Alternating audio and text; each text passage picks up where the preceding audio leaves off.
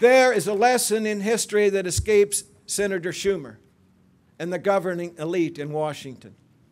The British Empire, the French Empire, the Ottoman Empire, the Roman Empire now lie in history's dustbin because they reached beyond their means, squandered the resources of their people, borrowed beyond reason, devalued their currency, and relegated their middle class to subservience to the state. In the process, they starved their once mighty armies and ceded their place on the world stage. The United States has liberated more people from tyranny than any other nation on earth.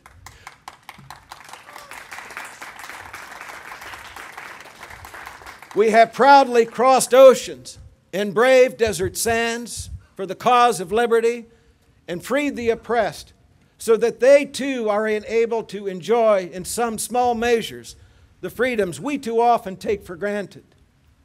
All we have ever asked of any ally is a plot of land in which to bury the brave American soldiers who died on foreign soil. We have been able to do these good deeds only because we are the mightiest military power on earth. I am not ready to see this nation cede its place at the head of democracy's table. I am not ready to see the sun set on American exceptionalism.